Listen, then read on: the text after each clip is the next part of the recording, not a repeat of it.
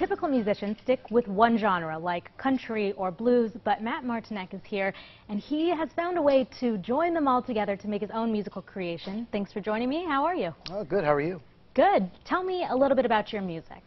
Well, basically, um, I'm from the Johnstown area. My name is Matt Martinek, and um, I've been writing, performing, and uh, singing for about for the better part of 20 years, I'd say. And I just found that one genre never really stuck with me. It kind of all goes with my mood. You know, I mean, if I want to write a rock song, I'll write a rock song. If I want to do a country song, I'll do so a country song. songs are like your mood ring. Yes, exactly.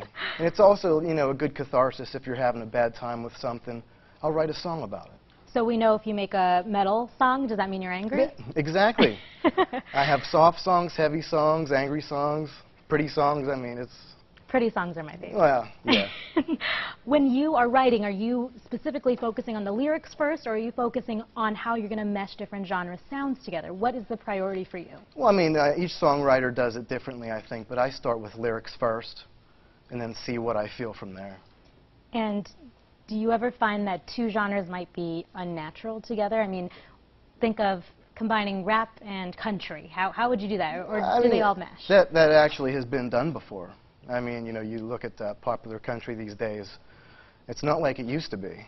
You know, the, the twangy country is kind of out. It's more of a poppy, hip-hoppy, you know, you look at a band like uh, Florida Georgia Line, for example. Sure. You know, they definitely mesh genres as well.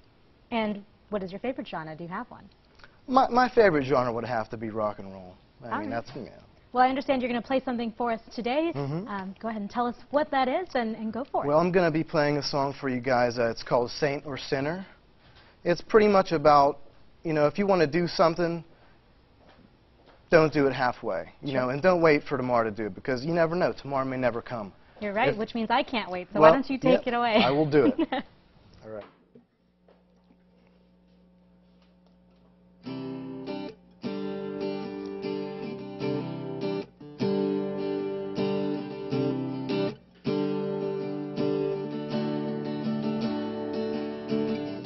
It's so easy looking out this window, counting the raindrops in my mind.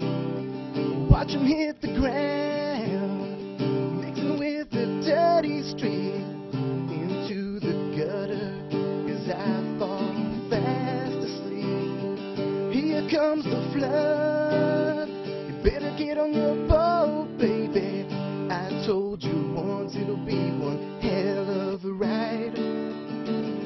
Here comes the flood.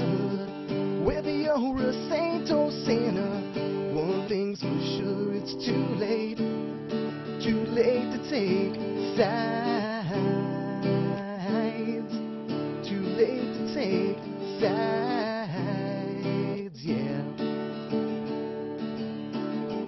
It's so easy looking through your rearview mirror, watching faces of the passers-by. Nobody's happy, everyone's full of pain and sorrow.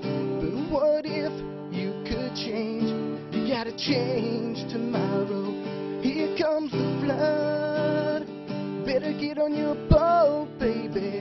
I told you once it'll be one hell of a ride. Here comes the flood.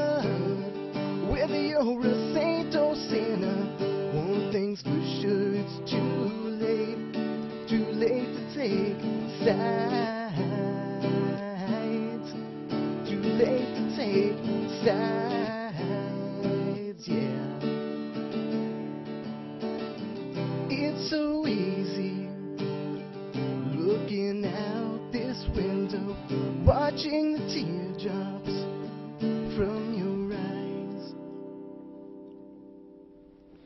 was really great, Matt. Thank Hey, you so thank much for being here. We appreciate I it. appreciate the opportunity. And we have a link to Matt's website on our website, centralpatv.com. That wraps it up for this week. Next week, we have the Hollidaysburg Community Chorus and the Bellwood Community Choir here to perform, as well as singer-songwriter Alyssa Henke. She will be in our studio. And of course, it's our yearly tradition for the show. We will preview the Altoona Dance Theater's production of the Nutcracker. We'll have all of that and much more, but first stay tuned for Per- Perry Wellington Real Estate 4.5.